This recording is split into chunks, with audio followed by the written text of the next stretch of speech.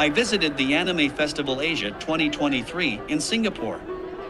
This is the largest and most followed J culture and anime comics game festival in Southeast Asia. It's an epic adventure in the world of costumes and characters. I'm absolutely thrilled to be here at this incredible cosplay event, where imagination knows no bounds and creativity reigns supreme. Now, here's the challenge for all you fantastic viewers out there.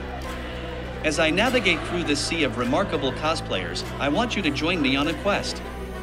Can you identify these five characters that the cosplayers bring to life? Ready? Let's go!